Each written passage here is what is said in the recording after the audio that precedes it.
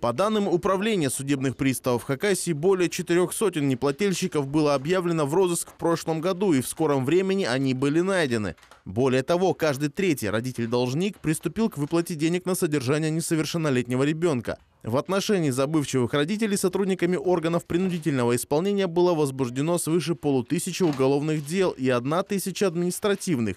Наказанием для алименщиков являются обязательные работы.